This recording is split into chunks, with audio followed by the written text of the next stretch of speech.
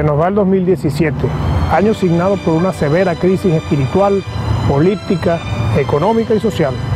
Y llega un nuevo año, el 2018, que será el año de la renovación política de Venezuela, de la renovación de nuestra democracia y de nuestra república. Momento de cambiar el capitán del barco e iniciar un nuevo rumbo hacia la prosperidad, hacia la paz, hacia el progreso, hacia el desarrollo.